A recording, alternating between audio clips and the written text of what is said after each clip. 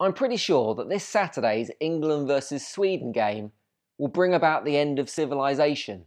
It's going to be a 3pm kickoff, midday drinking, heatwave sunshine, just being paid Saturday, coming home mania, chaos. Win or lose, by around 5pm the streets of every city in the land will be full of people acting and sounding, well, like Ross Kemp did after the win over Colombia. You will never know what that means to me. That is everything!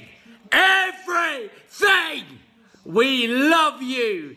Boys, we love you. Genuinely terrifying. Usually, when someone says they love me, I get a warm glow in my chest. But after that, the only warmth I'm feeling is in my underpants. I can't even imagine what state he's going to be in after the Sweden game.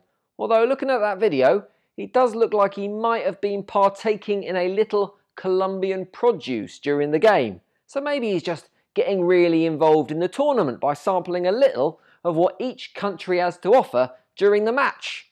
He'll probably be popping out a video late Saturday afternoon where he's surrounded by flat pack furniture and gorging himself on IKEA meatballs.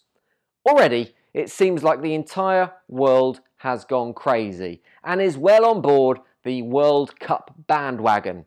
I'm sure you've already seen that video of MPs celebrating Eric Dier's winning penalty in the week.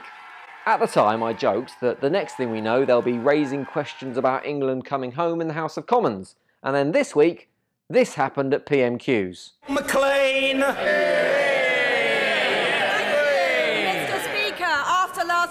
Night, I'm sure there's one question I don't need to ask the Prime Minister, which is, does she believe that football is coming home? can, I, can I say to the Honourable Lady, I sincerely hope, actually, that members across the whole of this House will be congratulating England's success and welcoming England's success. Yeah, it probably is coming home. But given recent history, when it does, in 40 years' time after it's settled, had a family, and contributed to society, the government will try and send it away again because it hasn't done the right paperwork.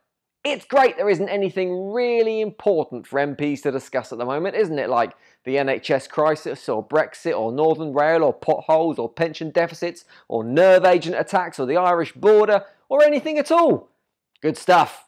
But the mind games have already begun, and everyone is trying to get one up on the Swedes and its radio station Capital Northeast, who have hit the country where it hurts, right in the IKEAs.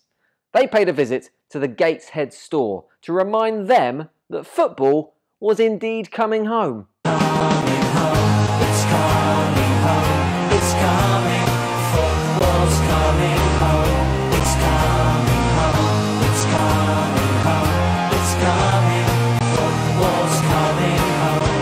Don't upset them too much though, yeah? They might take away those delicious hot dogs at the end, or chop and pig tube as they call it in Swedish. The irony being that I imagine that most England fans will be making a noise very similar to the name of an IKEA coffee table if England do lose that game. the more I think about it, the more I realise that IKEA furniture is the perfect analogy for the England team. It's been reasonably inexpensive to put together when compared to the other options.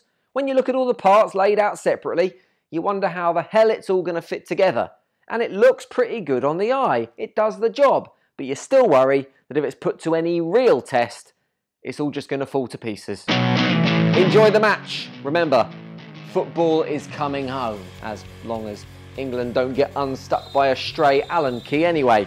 We are done for now. The next update from the World Cup will be in a few days. If you're missing us between now and then, check out some of the old shows, find the podcast, find our Twitter account, find our YouTube account and download some of the old shows. You can do all that at ontheleftside.co.uk. See you soon.